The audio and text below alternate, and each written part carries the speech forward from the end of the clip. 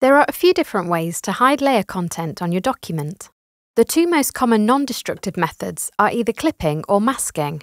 Clipping involves placing one object inside another. I'll select the Rectangle tool and click drag to create a rectangle on this magazine spread to resemble a Polaroid photo. To clip an object inside this rectangle, I'm going to press V to select the Move tool and drag this photo of a leaf into position on top of the rectangle. Then I'll go to the Layers panel and click drag the image layer over the rectangle layer. There are three drop zones highlighted by the blue area.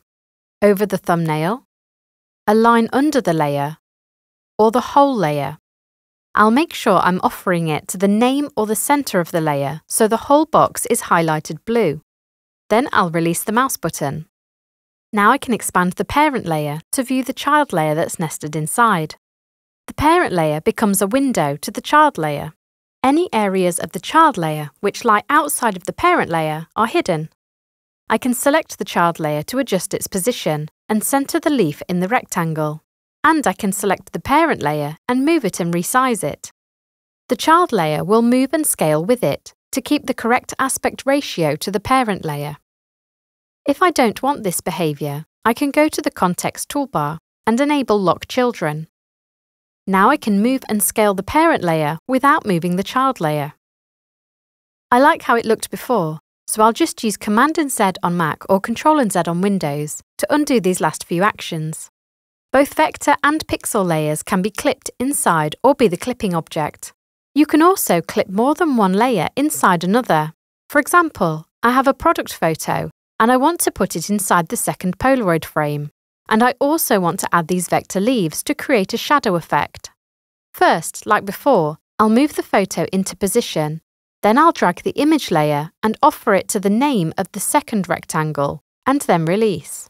I'll just adjust the position to centre the bottle in the window. Now I'll create the shadows using these vector ferns.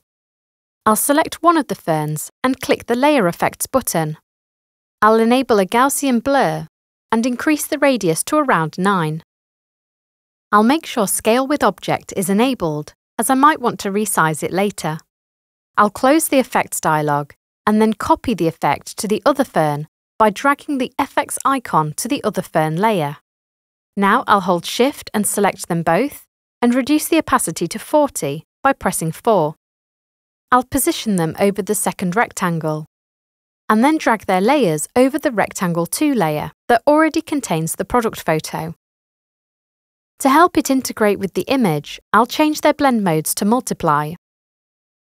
Now we have both an image and vector curves clipped inside the same shape. For the third example, I'll show you how you can clean up vector and raster objects in your illustrations. Here we have a ginkgo leaf and lots of lines that need neatening up. Rather than trim each curve, which is destructive, I can clip them all inside the thicker curve that outlines the leaf. I'll select one of the thin curves and then go to the Select menu. Go down to Select Same and choose the stroke weight and Equal to select all the tiny strokes. Then I'll go to the Layers panel and click drag them and offer them to the outline layer that I've named Ginkgo, and then release. Now the curves are only visible up to the path of the leaf outline. I can also clip pixel layers inside vector objects to add shading with clean edges. Instead of dragging layers into the clipping layer, I can go to the insertion modes near the top right. Now making sure my outline is selected, I can change the insertion preference to insert within the selection. I can go to the bottom of the Layers panel and click Add Pixel Layer and it will be created inside the leaf outline. Now I can go to the pixel persona and select the paintbrush tool. I'll open the brushes panel and choose a soft round brush. I'll make sure my colour is set to black and I'll press 2 to lower the opacity of the brush to 20%. Now I can brush around the edges of the leaf and it will only be visible inside the outline. I can isolate my pixel layer at any time to see the brushwork by holding Option on Mac or Alt on Windows and clicking on the pixel layer's thumbnail. Selecting another layer or Option clicking the thumbnail again will return to the normal view. Masking is slightly different. It allows us to determine which parts of a layer are shown or hidden in the document by restricting their visibility. Masking is mainly used for applying adjustments and filters selectively to certain areas of an image, or to composite parts of separate images into one main composition. For this flower, I can use a mask to remove the background. First, I'll select the image. Then I'll choose the Selection brush from the Tools panel and go to the Context toolbar and enable Soft Edges. This will soften the edges of the selection and help us to achieve a better result. I can use the square brackets to increase or decrease the brush size to make selections quickly, but also make sure that any tiny areas are included in the selection boundary. If I accidentally select part of the background, I can hold Option on Mac or Alt on Windows while I click Drag to remove from the selection and push the boundary back to the petals. Once I'm happy with the selection, I'll go to the bottom of the Layers panel and click Mask Layer. Now I can press Command and D on Mac or Control and D on Windows to deselect the image. Now this is ready to be placed into a composition. Using a mask is a non-destructive workflow. If we look at the Layers panel and hide the mask layer, we can see the background of the image is still there. If I hold Option on Mac or Alt on Windows and click the mask thumbnail, we can view the mask. When you view a mask, you'll either see white, which shows layer content, or black, which hides the layer from view. In this case, the white area is over the flower, so it is visible, and the background is black, so it is hidden. Grayscale values in between white and black will act as semi-transparency. You can also create objects and then turn them into masks. I'll press delete to remove this mask layer so I can show you another way we can use masks. This time I'll select the paintbrush tool and open the brushes panel and choose a brush. I'll open the list of categories and select the dry media options. And I'll select the first round chalk brush. This will work with any colour, so to demonstrate this, I'll choose red. Now I'll increase the brush size and paint over the lotus. It's important to point out that I've not painted on the lotus layer itself. Because I didn't have a layer selected, a new pixel layer was created for me. Now I can use this pixel layer as a mask. When a pixel layer becomes a mask, it will use the alpha channel values rather than the colour data, so the places where I've brushed will show the layer content regardless of colour.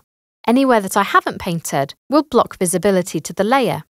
To turn this into a mask layer, I'll click drag it to the lotus flowers layer and offer it to the thumbnail, and then release the mouse button. The pixel layer has become a mask and now has a little mask icon in the corner of its thumbnail. I can continue to add to the mask by adding more paint, or I can hold E to temporarily switch to the Erase brush tool and remove the mask. Masks can be really useful when working with filters and adjustment layers, as you can determine which parts of the image the filter or adjustment affects. I'll delete this mask on the Layers panel and add a black and white adjustment layer. To do this, I'll open the list of adjustments at the bottom of the Layers panel and select Black and White.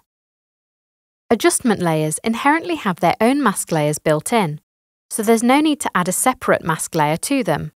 If I start painting black onto the adjustment layer, it will block the black and white effect, allowing the colour to show through.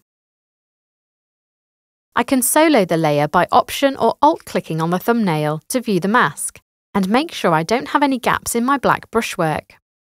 For some tasks, clipping or masking are both viable options and can appear to achieve the same result.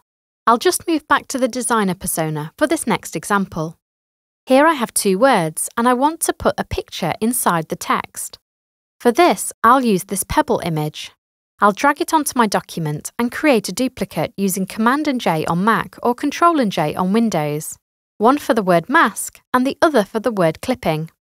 First, I'll drag one over the word mask. Then I'll go to the Layers panel and offer the artistic text layer that says mask to the thumbnail of the pebble layer. In this case, the text becomes the mask. Next, I'm going to clip the other image inside the word clipping. Like before, I'll drag the pebble image over the word, but this time I'll drag the image layer and offer it to the centre of the text layer so the whole layer is highlighted blue. Now the pebble image is inside and the text layer becomes a clipping object. So here we've been able to use different techniques to achieve the same effect. In some cases, it may come down to personal preference. In others, it may be the properties or behaviours connected with each workflow that determine which technique is best. So that was a look at clipping and masking techniques. Thanks for watching.